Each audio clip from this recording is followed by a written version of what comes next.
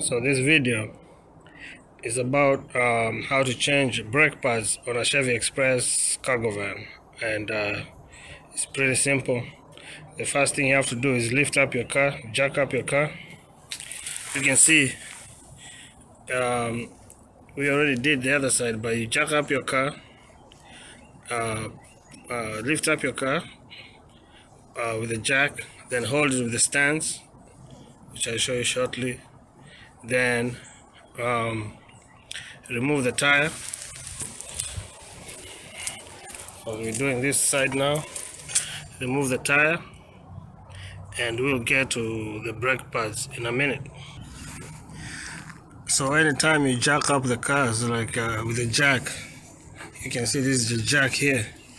Anytime you jack up the car uh, get some stands you know like you see that's that, that's a stand and the other one is a stand. Don't try to work on your car with a jack because the jack can slip. And uh, if you go under the car if the, if the jack slips and you're working on the car, it's very dangerous. So get some stands, uh, uh, lift up the car with the, with the jack and lay, uh, bring the car down slowly to sit on the stands before you start working on the car. That's for safety. So now we we we changing uh, brake pads on that side of the tire. We already did uh, the driver side, so now we're doing the passenger side. So we lift this side now. We're lifting. That's why the jack is closer to this side than the other side. So now we remove this tire and we get to the brake pads. So make sure you loosen your lug nuts the lug nuts, these bolts, the tire bolts, they are called lug nuts. Make them, make sure you lose them, lose them up, loosen them up before you lift the car up. So loosen up, loosen, uh, loosen them up first. Um, then lift the car up because they see they are loose now. After the car is up and you have the jack stand holding the car, now you can easily remove this tire so because you can't you can't loosen them up when the tire is on the air. You see the tire is on the air? I don't know if you can see that the car is up on the air. And you can't loosen you can't loosen them up when the tire is on the air. So loosen them up before you lift the car up. So now we remove this tire and we'll get to the brake pads. So you just basically pull this lug nut off like that quick quick quick. So you can see now all the lug nuts are off. So basically now the tire just comes loose. Just pull the tire just like that. Pull the tire on the side. Sometimes you can you can put the tire under the vehicle just in case the vehicle falls. It falls on something it lands on the tire. But we have the jack stands here so you can see the car is safe to work on right now. So so basically these are the, the brake pads are in here. This thing here is called the, uh, the caliper. The caliper holds the brake pads. This is called the rotor. That's the rotor. And the brake pads when you step on your brakes the brake pads uh, there's one brake pad on this side here. There's another brake pad in the back here. It's two brake pads. So when you step on the brake, you can see this pipe here. Ah, this, this is the brake fluid. There's a brake fluid. When you put brake fluid in your car, it comes and greases the caliper. And when you step on your brakes, the, the, the, the sanction pulls the brake pads together and stops your car. So when the brake when the brake pads wear off, you, you start hearing the screeching, the noise, and sometimes it causes these lines you see here. This is the rotor. It can be changed too, but today we are not changing that. That can survive a few more months. So we're not changing the rotors. But once in a while you change the brakes and the rotors together. But today we're just changing the brake pads. So the brake pads are in here. Um, to change the brake pads, you need to remove the caliper there's two bolts there's one up here. I don't know if you can see it. And there's another one down here. That. And there's another one up here. So it's two bolts you remove those two uh, two bolts here this one the one at the bottom and the one on top here. Then the caliper.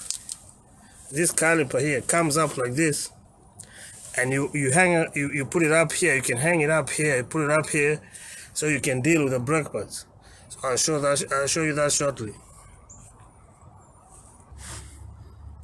So one thing I have to say before I forget um, this this bolt and this bolt here to break them loose uh, you'll need a breaker bar. A breaker bar is something like this uh, you need a breaker bar to break loose those two bolts because um, they are very because of the heat uh, in the brakes and all that they're very tight. So you'll need a breaker bar it took me a little while to break them loose. But once uh, you break them loose everything else is easy.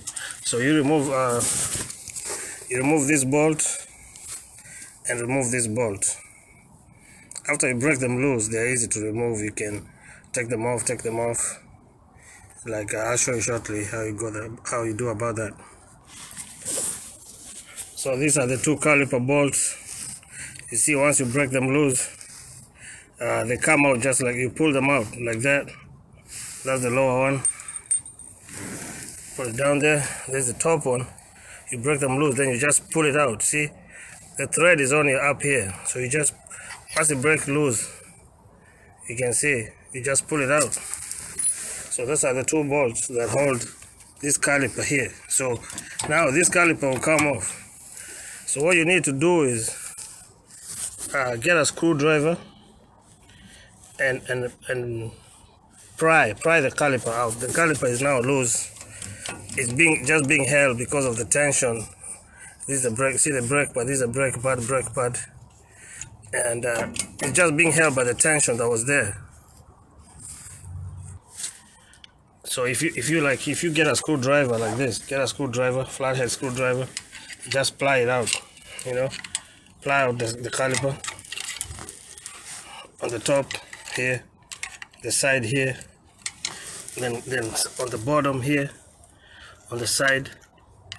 Because you see that's the brake pad the brake pad is this part here there's the brake pad. That's what we, we try to change so you pry the caliper out. This caliper here. See it's loose. So we're gonna use a screwdriver to pry it out then then we'll see what's gonna happen. So once you remove the caliper you can see um, one bolt goes here one bolt goes here. Uh, then you just hang up the caliper up here. You can use a wire. This is the caliper. This will hold the brake pads. Uh, you, you put it up here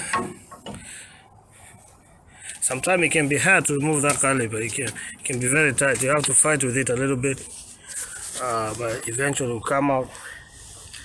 And now this is what we need. This these are the brake pads. This is what stops your car. This they are very easy to come they just come there. They're just sitting right here. This one this another one on this side. You just ply them out. This is the rotor and these are the pads they just being held by the caliper but now the caliper is loose. You can just hit them out like they will just come off. They will just come off loose. If you look just hit them or pull them out. Sometimes they just come off by themselves but you have to you have to understand they've been sitting there for a long time with the, all the heat the brake the brakes have so much heat. So you can sometimes you can just hit them out. They will just come off. You know? Get get get something. Get something and knock them out.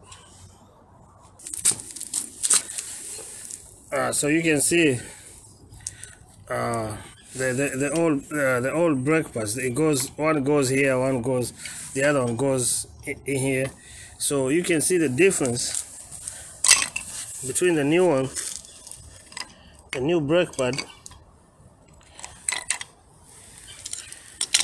These are the new brake pads. See how thick they are? See how thick? These are the new ones that we're gonna put in. That's how thick they are. These are the brakes. Look at the, look at the old ones.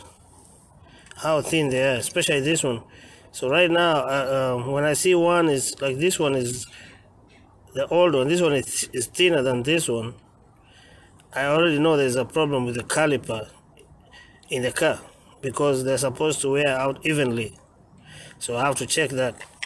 But uh, you can see the new ones how thick they are. These are the brake pads now. And they will go in here.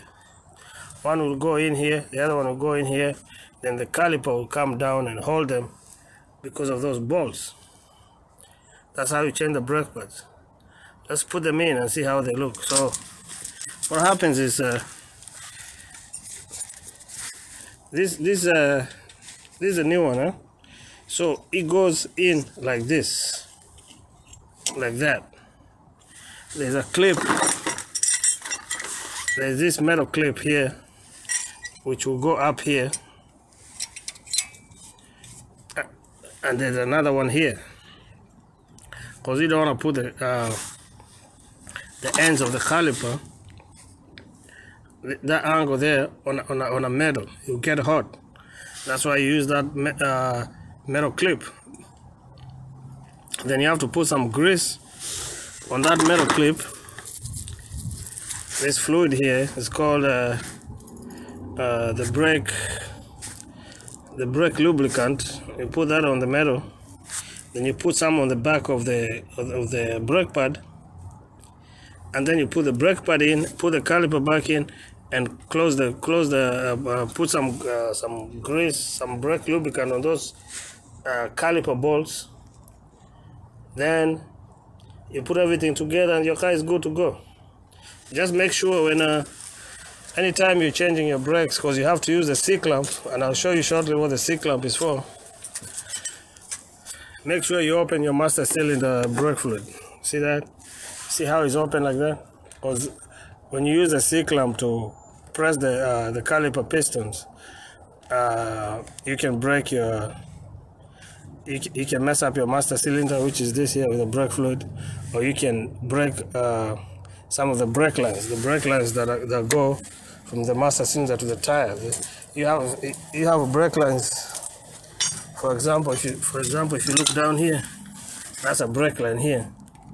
And you have brake lines coming all the way here. They, they put the fluid they push the fluid to the brake so that your car can stop and get uh, ma maintain lubrication so we'll put the brake pads in. Then I'll, I'll show you how to compress the uh, the caliper. This caliper the brake pads are too thick so because the old ones were very thin that's why this uh, the, these pistons are out.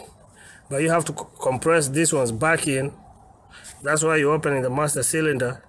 You have to compress them back in. That's why I have that C-clamp there. You compress them back in and then you put in the brakes. Let's let's look at this. So when the brake pads go in they're supposed to sit like this. You see that? Um, make sure they sit on this clip here on both on the inside and the outside. Then now we'll put some grease over here because because the caliper will be holding here. So we need to put some grease here on this side on this side here too and on this clip up here on this clip up here. We put some brake lubricant to to make sure that um, your brake your brakes are always lubricated and working properly so that's the next step. Then we'll put back the we, will compress the caliper piece this this caliper here. We compress these two pieces we compress them and so that they can fit here. And that's the next step before we put the car together uh, and and uh, the job is done. Let's do that. So um, see once you once you grease the brake pad see you put the grease the back of the brake pad on this side on the other side on the clips now the last thing you, the major thing you have to do you see these two uh, this caliper here will be will come to be attached to the brake pad. That's the caliper is gonna hold the brake pads, and it has two these pistons here. So the thing is, you have to compress them all the way in. You push them these two calipers all the way in, so that when it comes when it comes here, it can fit. It can fit right here. If you just put it like this, the way it is, it's not gonna fit in here. And I'll show you shortly how it sits because uh, you, you, see has uh, the two, remember the two bolts, one bolt here, one bolt on the other side. They have to one bolt has to go in here, and the other bolt has to go up in here. So he has to hold it like this, like a jacket. It has to hold it. So with with with, with this caliper piston sitting like that, it's not gonna fit. So you take you can use one of the old brake pads like this this is the old brake pad use it here put it here take the C clamp and compress uh, those pistons until they're going let me show you so um, this is what you do. You take this brake pad here the old one that you removed you put it right there next to those um, those pistons the caliper. Then you take the, your C clamp like this. See the C this is a C clamp. Uh, check this out. Take your C clamp like this put your C clamp right in here. Watch how this goes. The C clamp will come in there. You close it and compress.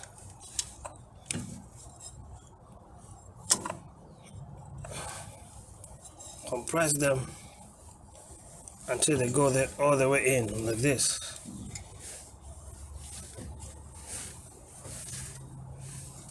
see that that's what we're doing compressing them with a C clamp all the way in until it's flush.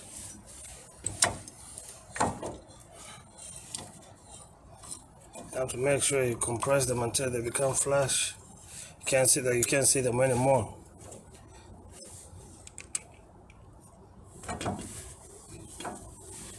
Them all the way in.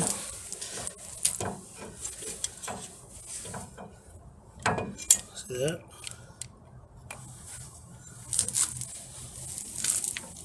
Keep compressing them.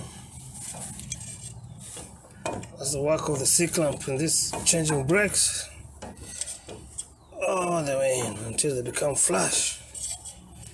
Until we can't see them no more. See that?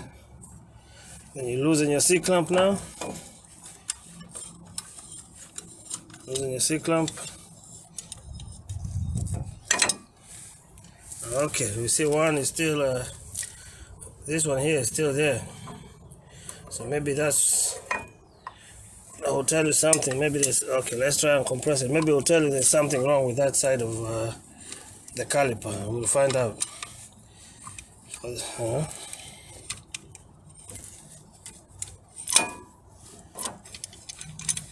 maybe that's why the brakes, the brake pad are wearing, they're wearing out unevenly. You know. So that's how you learn. So let's try again. Do it. See.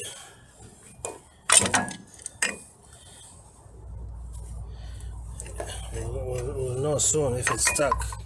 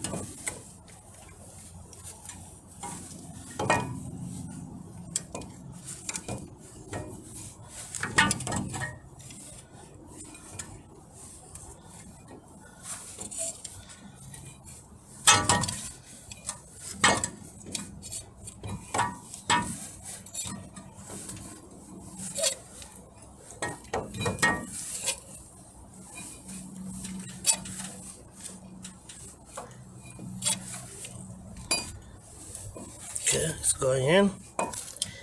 Has to be flush.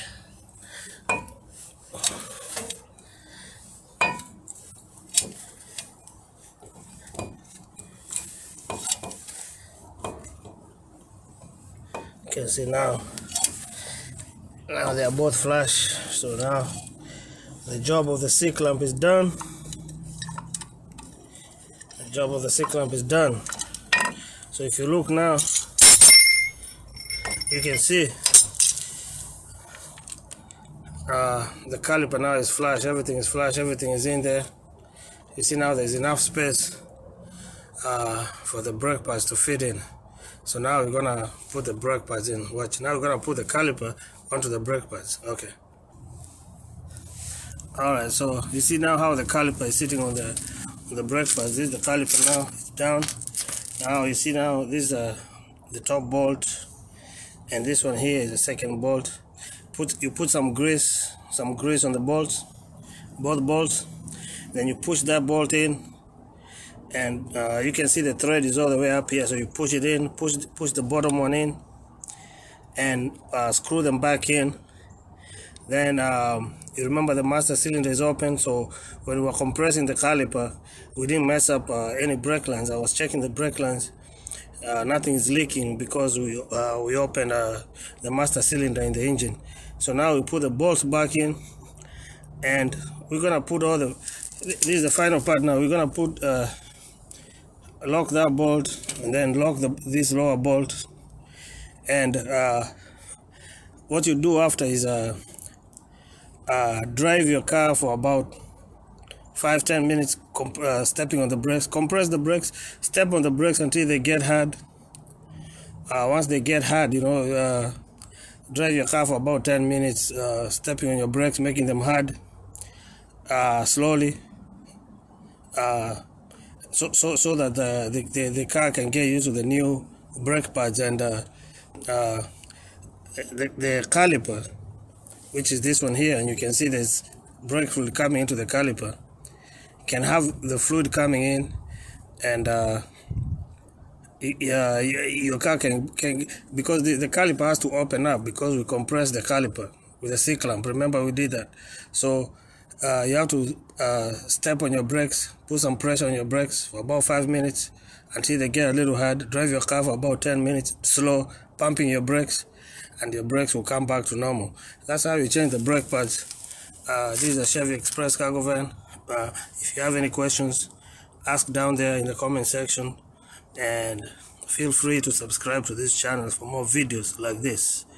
Um, if I missed a step, let me know. Okay, good day.